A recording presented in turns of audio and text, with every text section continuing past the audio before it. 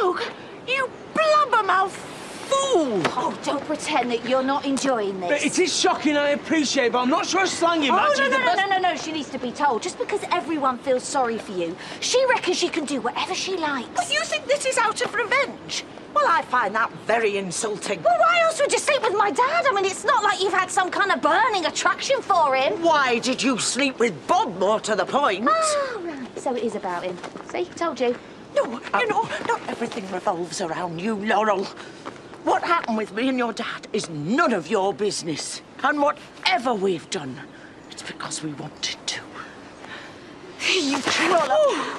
You hypocrite! Okay. Baby carrots! Come on, ladies, you're better than this! ladies! Cool it! I've had enough of that!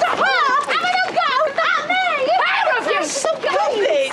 Oh, no, sorry, I didn't mean that to hit you. Sorry, I'm... She's always had a terrible aim. Ow, if I didn't... Ow! I'm seeing pair Get out of the way, you silly woman! What did you call me? Brenda!